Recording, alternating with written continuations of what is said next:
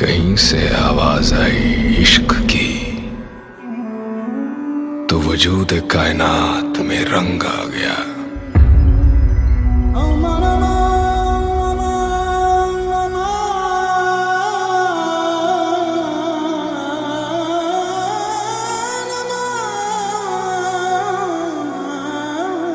दो मोहब्बत करने वाले मिले कहीं पर तो औलिया के बयां